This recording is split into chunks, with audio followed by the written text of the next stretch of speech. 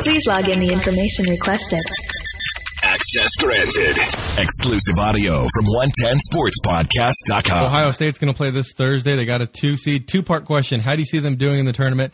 And is the reputation of Thad Matta teams kind of underachieving a fair criticism of his program? I mean, as far as the underachieving, I'll, I'll get to that first. Uh, I Mhm. guess, yeah, it probably is fair. But I mean, I mean, we went to the Final Four the one year, and, and I don't know. He he he's kind of.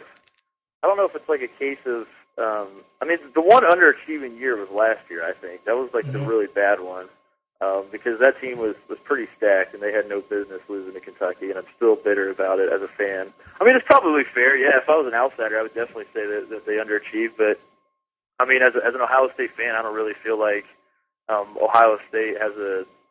I'm not really frustrated with with what they do in the tournament. I mean, last year was definitely disappointing, but it's not. Uh, I don't think it's time to panic necessarily. And then as far as this year, uh, I mean, I could see it either way. I mean, they they they struggled in February. They're kind of playing well as of late. They're they're kind of peaking a little bit at the right time. I don't know if they're peaking, but they're trending upward. You know, and, and that's Mhm. just a good time to trend upward. I don't know. I mean, I don't really know what to expect. I could see them making the Final Four. They certainly have the talent to, but. uh if you ask if you ask most Ohio State fans, I'd say that uh, this year's been a little bit of a disappointment, and and most of them aren't exactly expecting the uh, a deep run here.